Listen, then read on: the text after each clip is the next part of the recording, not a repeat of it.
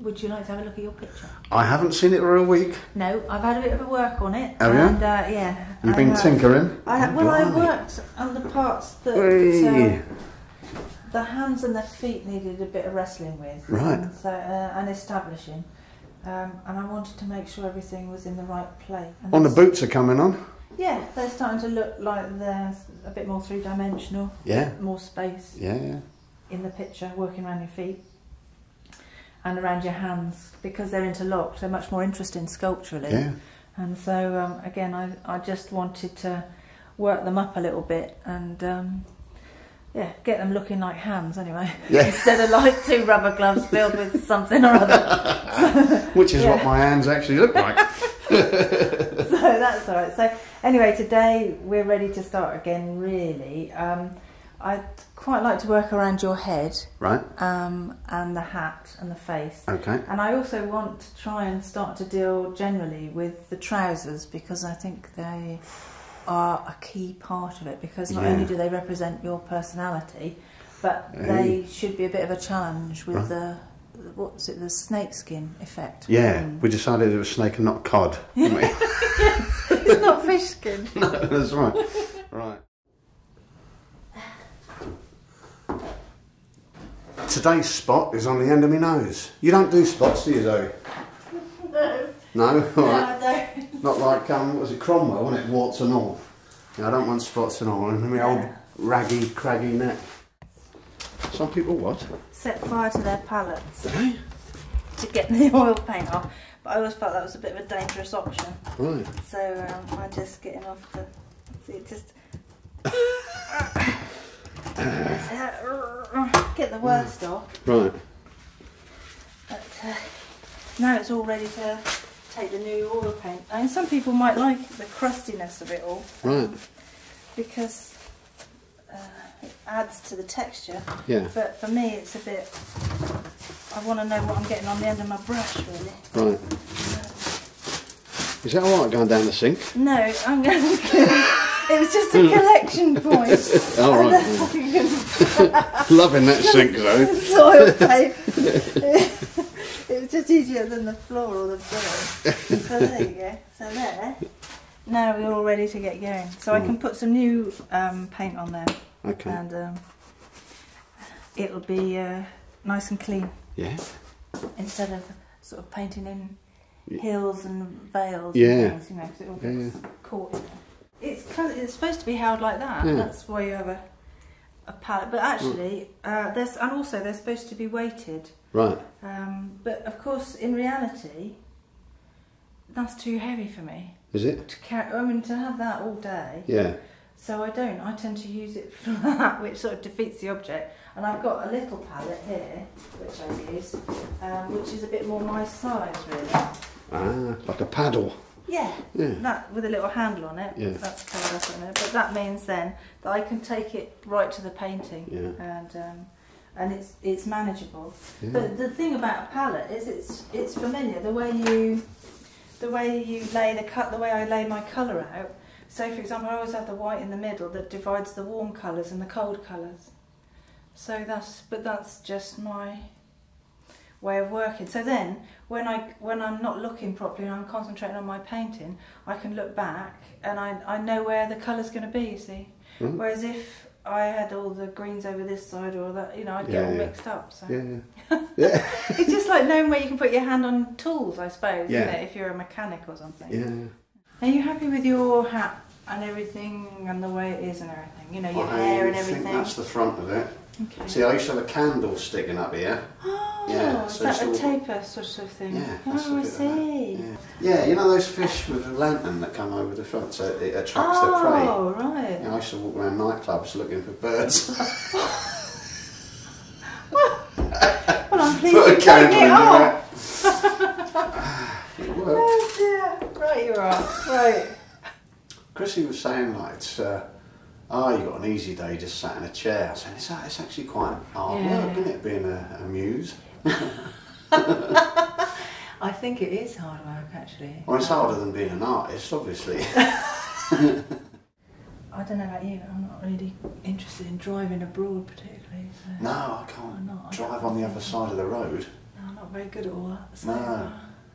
I tell people I'm too intelligent to be able to do that. well, I like the reason. Yeah, that's, that's my reason for anything I can't do. No, I'm just too clever to that. It doesn't make any sense.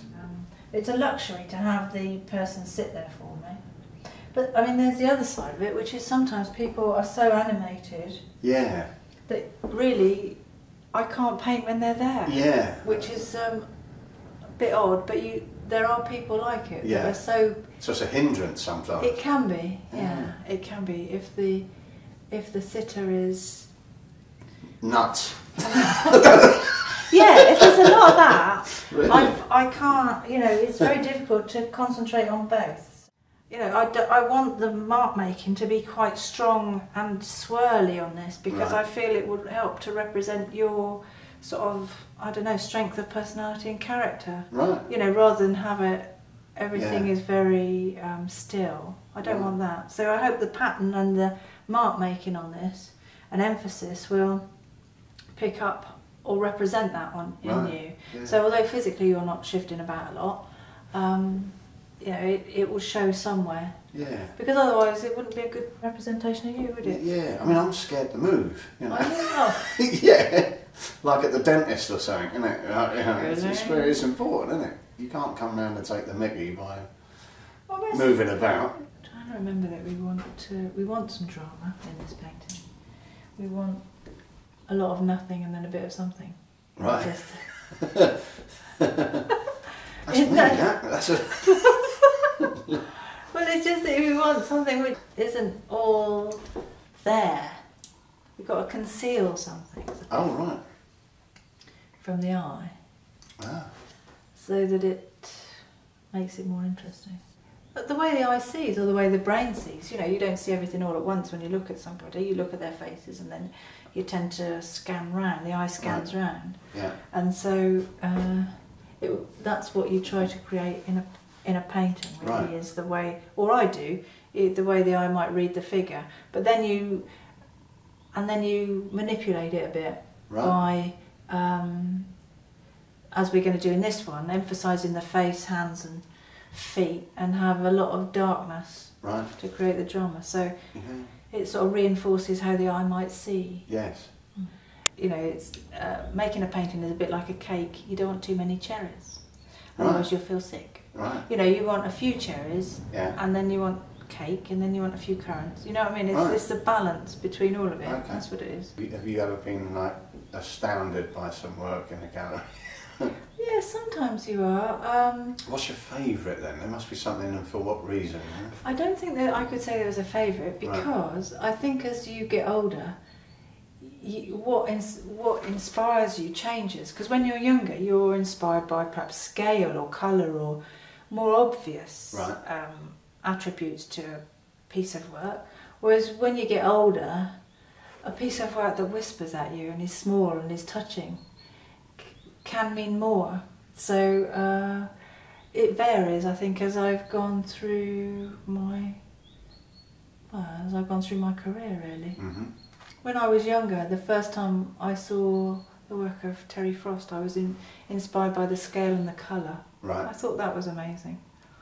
Um, because actually, really, until then, I hadn't been interested in abstract work at all. Right. Ah.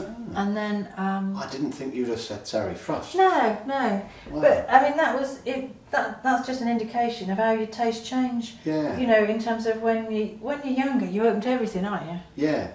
um, you think, oh, what about this and what about that? Uh, whereas as you get older, I mean, now I'm older, I like, I mean, it goes without saying, I like Goya.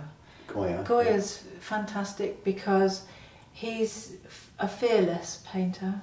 Right. Um, he paints with black and he just shoves the black in and he makes Right. dark work, very dark. And it's dark because it's sort of slightly mad. You know, the people in it have, you know, they, they look a bit peculiar or they're you know, not quite, or they're, they've got a strange festival or, you know, the dance Yeah. of the burial of the sardine and all that, you know. It's, Yeah. it's fantastic, all of that. And it represents what I think of as society now.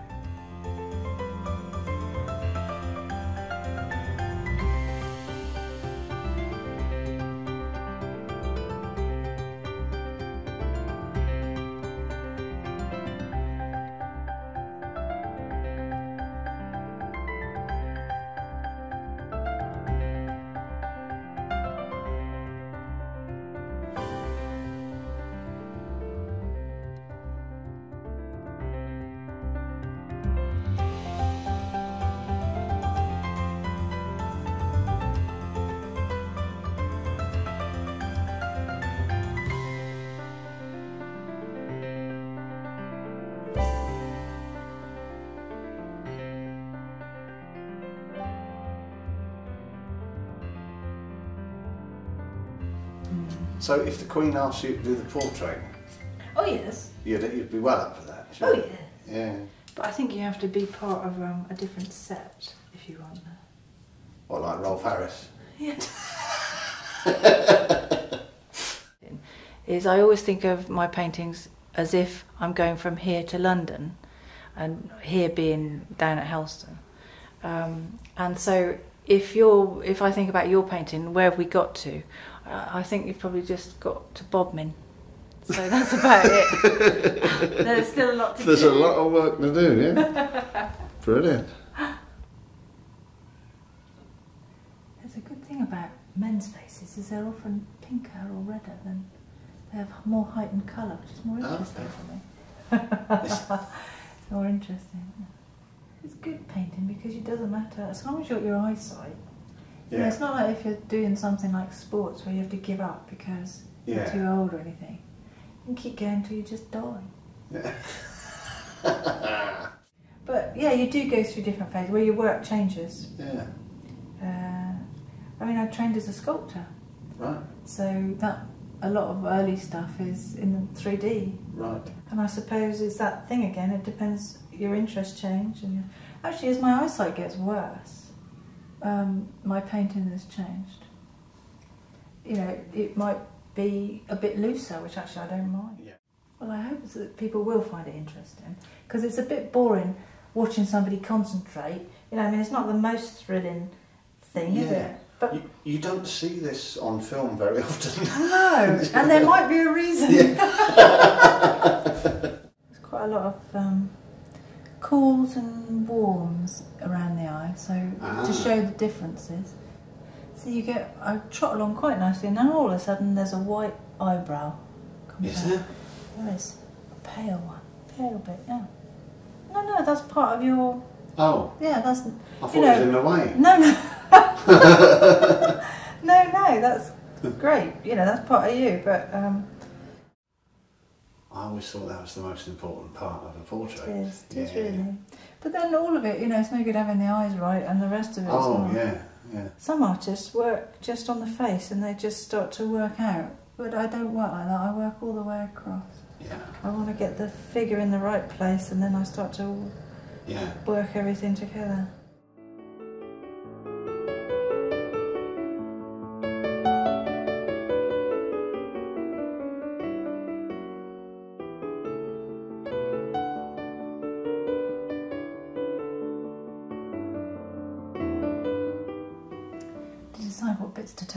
Put in last time. That's the nature of um, a sitting, is it's each time it's different. Right. And so sometimes there are qualities you quite like, but they're, di- they obviously are different. You know, the pose is different or the hair is different. Decide if you want to take it out or leave it in. Yeah.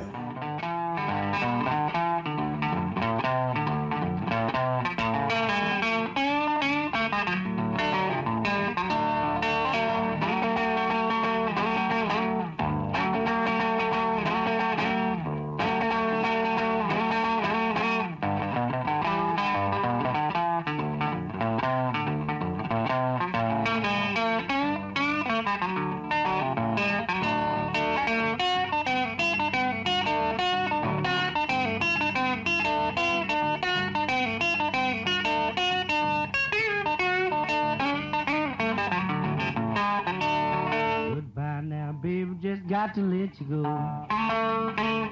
Goodbye now, baby, just got to let you go. Come home telling me about you gonna get drunk once more. It's funny, you look at something over and over and then all of a sudden you see what's, on, what's needed. Ah, You look and you look yeah, yeah. and you think you, you've seen it, but you haven't really. Right. How far are we now, Zoe? Exeter? Exeter, yeah. The mouth's changed. Yeah.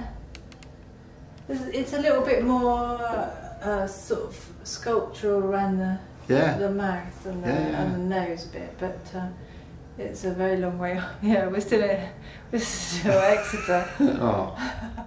It's brilliant how you build it up, you know? yeah, you just have to be patient. It's Yeah. and sometimes you have to put the wrong colour on to put the right colour over the top. Yeah. Mm, quite odd, really. I think think what we'll do is we'll work on the trousers for the Oh, yeah. marriage. Because there's quite a lot of work to be done there. Yes. Um, in And you terms need of- somebody to model them wearing them to get the shape of do. the thing. Yeah, okay. So what's it like being a model to, s- and sitting? It's harder than you'd think. Yeah. Mm. it, well, it's tiring on the body, isn't it, to stay still? Yeah. Yeah. And I didn't. I'm not. I'm actually sat. I'm not. I haven't got my back against the chair. No. No. So that's a bit of a thingy. I'm going to have to undo my top button now. Just to do. Excuse me. I'm going to put in a base colour and then I shall have something to work from. Right. Well, I don't think that's quite blue enough. I could sit back a bit, can I? Yeah. Yeah, you can Yeah, actually. that's- that's yeah, there's no. It doesn't make any difference to. Yeah, cool. to I'm being a lazy muse. there's a lot of changes of tone and colour that come in these trousers. It's a bold, uh, bold thing to, to copy, isn't it? A pair of these. I doubt if it's ever been done before in oil. well, yeah, perhaps there's a reason, like we say. Are you going to go for the snakeskin Oh, on the canvas? Yeah, yeah. What, the intricate small brush job? Yeah, but we'll find a way of uh, simplifying or unit, you know, just. Yeah. Cheating. Well, you know, I probably could do it with. Um, if I could find the right implement to press into the, Oh, yeah. you yeah. know, but I, I don't really want to do it that way. I want to do it through the hard work way, which is building it up and doing it properly. So. There's some quite strong pinky bits in there. Yeah. Where's that from? Uh, Oh, yeah, it's actually in the... Tr- it's like a, hmm. an oily... Uh, like oil on the road, isn't it? I mean, how they print this would have been with using a photograph, wouldn't it? There would have been a photograph, negative, screen printed that, Yes, probably. and actually. they're screen printed, so it, it is real snakeskin Well, design. yeah, from, I suppose it probably is, yeah. Would you recommend to anybody to have a portrait done? I suppose it, wait, you have to wait till it's finished, really. You've got to wait till it's finished. I have a great faith in it, Zoe. It's looking good already. I think it's a brilliant thing that I've done, isn't it? I don't know, you know, because you said to me, why would anybody have one done? Yeah, and you, your answer was you were doing it more for their loved ones, Hmm. so that they can remember you. Like, yeah, always have you around. Yeah, whether they want you or not. Do you feel it's a good time to record your I do actually. Yeah, I'm coming up to fifty, which is a big, uh, big marker for me, and having just been recognised in our film yeah. and all that, it's like, yeah, I want to kind of. It's nice to put a lid on that in a painting. Do you know what I mean? Yeah, yeah, that's true. It's a bit of a full stop, isn't it, really, I suppose. Uh, or and I not a full stop so much as a it is a marker, isn't Yeah. it? It's just a marker. Yeah, it's like a big stamp on that part of. Uh, I like the idea of wearing the same clothes that I had on 30 years ago doing it. Well, a lot of people couldn't. No, that's for somebody to project an image of you on a on a sheet on a board from about five foot away accurately. It's incredible, isn't it? I don't know. I suppose I don't Yeah. know. It's it's a strange, yeah. You don't only try to copy what you see because it's not just to copying. Otherwise, you just get photograph. Yeah, Uh, you want a bit more than that. yeah, Um, but it is quite interesting to try. There's several. It's on different layers, you know, levels. You get there's a side of you that sees it as a challenge. You think, oh, you know, I can have a go at that and see how that works out. And then at the same time, then there's the other thing, which is, you know, are you, are you getting it? Um, are you getting other elements to you in there? Uh, but the primary concern, of course, always with a portrait is that it has to has to people have to know it's you. It's no good yeah, if it looks like your brother yeah. um, or somebody else. Yeah, you, you've got to be able to capture. It's just not. It's, it just won't do, will it? If it's just like somebody else. Yeah. These trousers are having me all over the place. I'm here, there, and everywhere with That's the the idea. what on earth are you wearing? These are cod trousers, Mrs.